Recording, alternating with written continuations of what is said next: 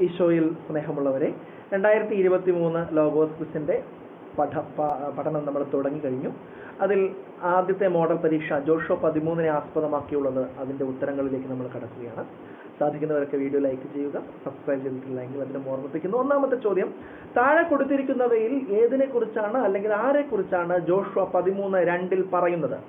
മാക്കാത്യർ ഗിർഗാഷ്യർ ഗഷൂര്യർ ഇസ്രായേല്യർ ഗഷൂര്യരെ കുറിച്ചാണ് മൊറാര മൊറാർ ആരുടേതാണ്? കാനാന്യർ ഹിവ്യർ സീതോന്യർ ഫിലിസ്ത്യർ. മൊറാറ എന്നുള്ള സ്ഥലം അത് സീതോന്യരുടേതാണ് റൂബൻ ഗാദ് ഗോത്രങ്ങളും മനാസയുടെ മറ്റേ അർദ്ധഗോത്രവും. കർത്താവിന്റെ ദാസനായ മോശ നൽകിയ ദേശം നേരത്തെ തന്നെ കൈവശമാക്കിയിരുന്നു. ജോർദാൻ നദിയുടെ ഡാഷ് വശത്തായിരുന്നു അത്. കിഴക്ക് പടിഞ്ഞാറ് വടക്ക് തെക്ക്. ഇവിടെ എ ആണ് കിഴ കിഴക്ക് വശത്ത്. ജോഷു പതിമൂന്നിൽ മോശയുടെ പേര് എത്ര പ്രാവശ്യം ഉണ്ട്? അഞ്ച് ഏഴ് ഒൻപത് പതിനൊന്ന്.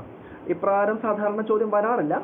പദങ്ങളൊക്കെ എടുത്താണ് ചോദിക്കുക. എന്നാൽ നമ്മൾ ആ ഒരു ആദ്യഘട്ടം എന്ന നിലയിൽ സാധാരണ പോലെ അതൊന്നും എടുത്തുന്നേ ഉള്ളൂ. സി ഒൻപത്.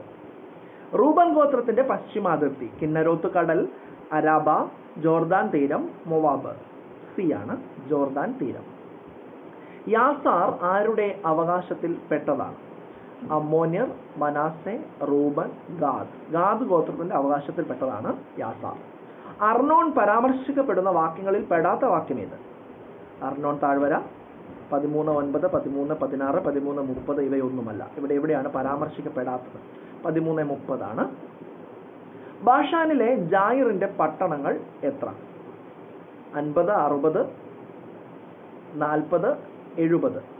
അൻപത് അറുപത് നാൽപ്പത് എഴുപത്.